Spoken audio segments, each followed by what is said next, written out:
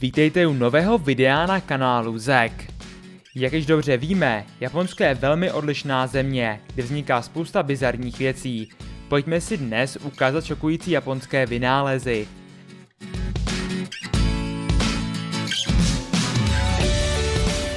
Nezapomeňte dát pod video like a zkontrolovat si, jestli máte zapnutý zvoneček, aby vám nic neuteklo. Ochrana před potřísněním.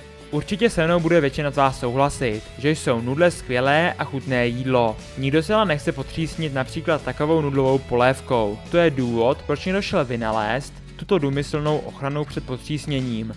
Tento bizarní přístroj trochu vypadá jako lví hříva. Abych vám nelhal, asi bych se s tím cítil trochu trapně. I když se tento nápad může někomu líbit, tak existují lepší způsoby, jak zabránit vývaru, aby se na vás dostal. Doporučuji především nesrkat. Větráček. Když už mluvíme o jídle, podívejte se na tohleto zařízení. Pokud stále foukáte na teplé jídlo, protože ho chcete mít studenější, tak by vám tento vynález mohl udělat radost. Je to malý větrák přidělaný k hulce, ta však musí být docela těžká a nevážená.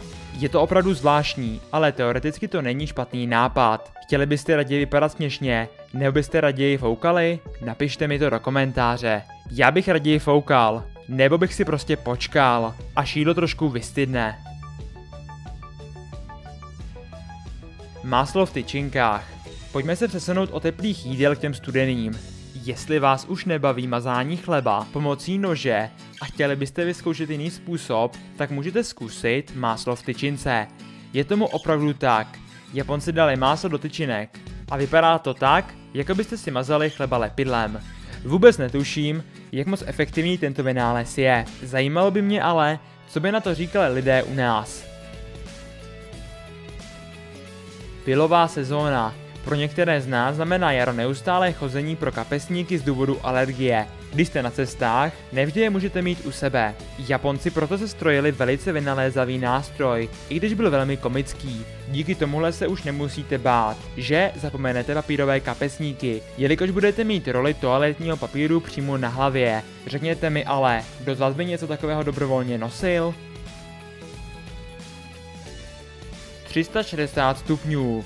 Dříve byly některé 360 stupňové snímky foceny tak, že se spojilo více fotografií dohromady. To však nebylo úplně dokonalé kvůli jistým odchylkám. Proto zde máme tenhle ten další vynález, který se opět dává na hlavu.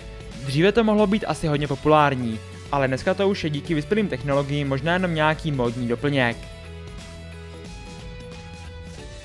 Tak jsme opět na konci tohoto videa. Pokud se vám toto video líbilo, tak bych byl rád, kdybyste moji tvorbu podpořili palcem nahoru odběrem a sdílením. Tak se sami loučí Zek. Čau čau.